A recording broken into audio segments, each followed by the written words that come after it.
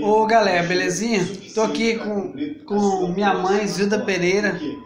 E eu tô querendo fazer uma pergunta pra ela. Ô mãe, tô querendo saber sobre essa paralisa- paralisação da greve aí, ó. O que que só acha? Por que que só não vai lá participar, ajudar o pessoal da greve? Por que que só não vai lá amanhã ajudar eles? aumentou um pouco aqui, Ai. mas sem confusão, sem correria. É, Eles a que tem que resolver e- aqui no aeroporto de Brasília E ter dó e consciência de nós, de você sabe manter bem, nosso é carro, sempre, gasolina, né, para manter nosso carro e não ficar vazio. aqui é o aeroporto É isso mesmo, só tá de parabéns. E quem que só acha que tem, não é os políticos que tem que é diminuir os preços, mãe? É os políticos.